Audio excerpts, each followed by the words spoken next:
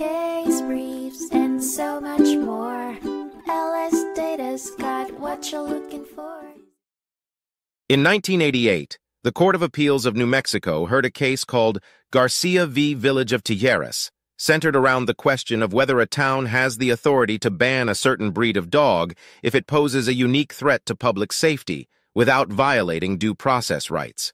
The village of Tijeras in New Mexico was grappling with a significant problem of American pit bull terriers attacking domestic animals and causing harm to humans. In response, the village enacted an ordinance prohibiting the ownership or possession of these dogs. A group of residents, however, took legal action against this ordinance, arguing it violated their constitutional rights.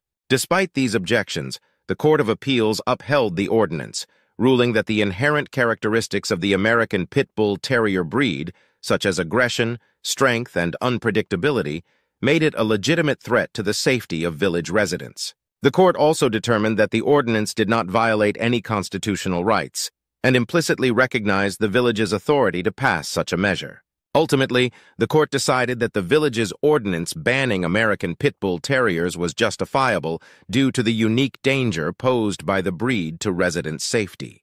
It also stated that even harmless American Pit Bull Terriers could be banned in order to ensure public safety.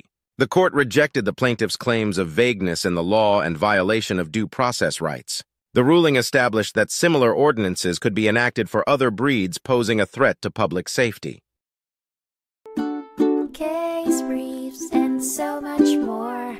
LS Data's got what you're looking for. Visit lsd.law, elevate your mind. Leave the stress of class.